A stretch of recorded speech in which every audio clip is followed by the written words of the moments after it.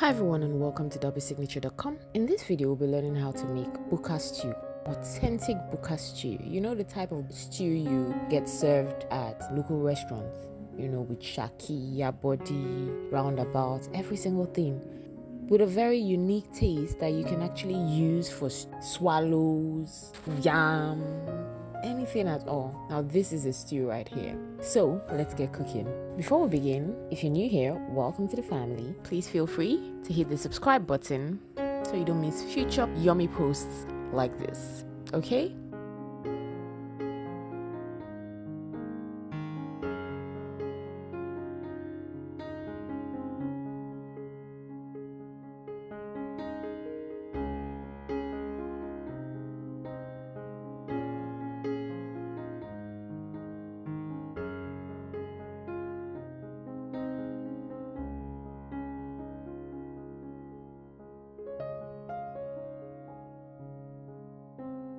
Now let's get cooking.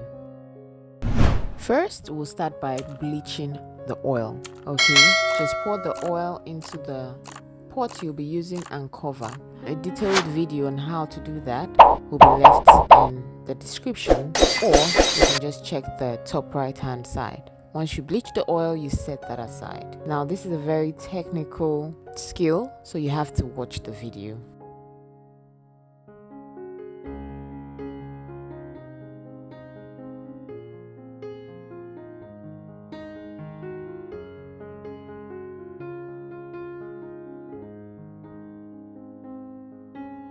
To begin, I'll start by cooking the shaki, intestines, and the cowhide, which is ponmo.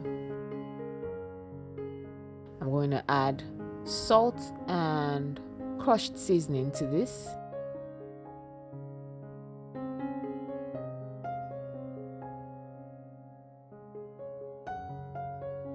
And add a little water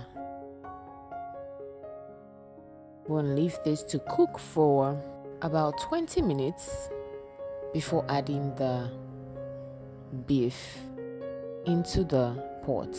Just add the beef and I'll give this a good stir.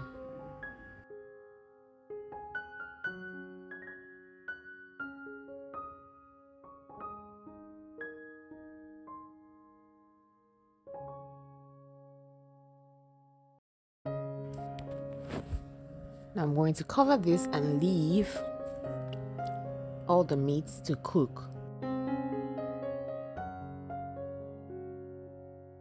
Till soft. Okay?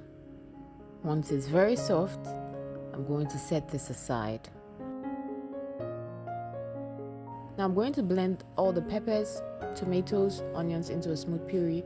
You can check the description for the full list of ingredients and pour this into a pot. Now we're going to cook this till it gets concentrated like this. Next, I'll add the tomato paste. This is to give it more volume.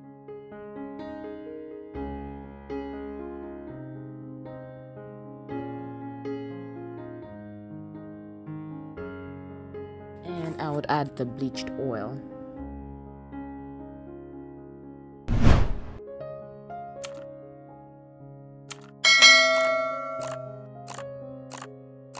Then stir this gently and we're going to leave this to fry for a few minutes so the oil settles on top.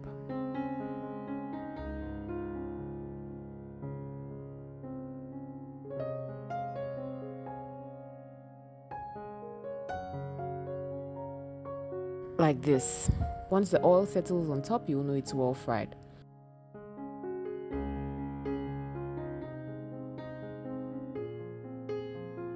Now the next step will be to add the meats as well as the stock into the pot.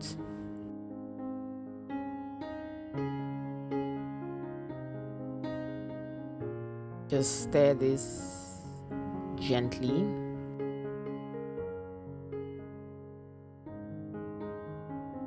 Give this a good stir and then I'll cover this and leave to simmer on low heat for about 10 minutes.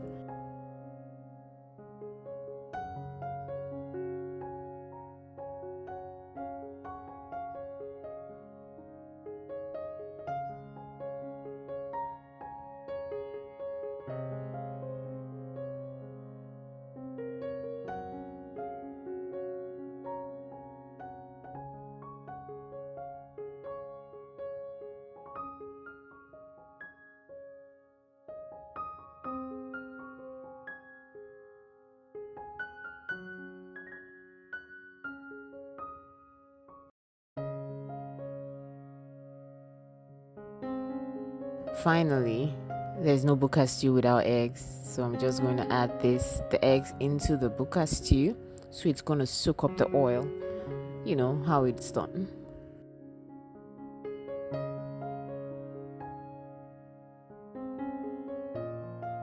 So you don't just eat plain eggs you eat oil soaked eggs. And your buka stew is ready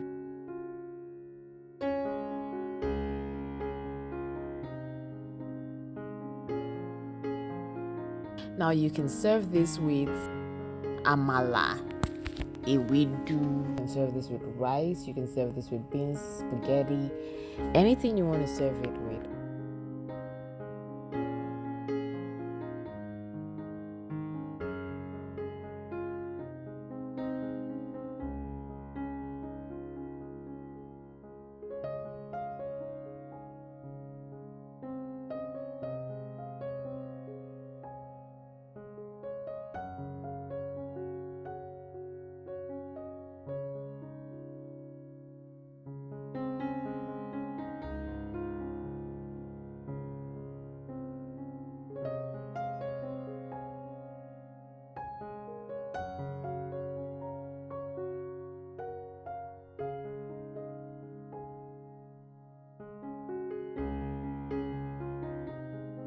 Thanks for watching.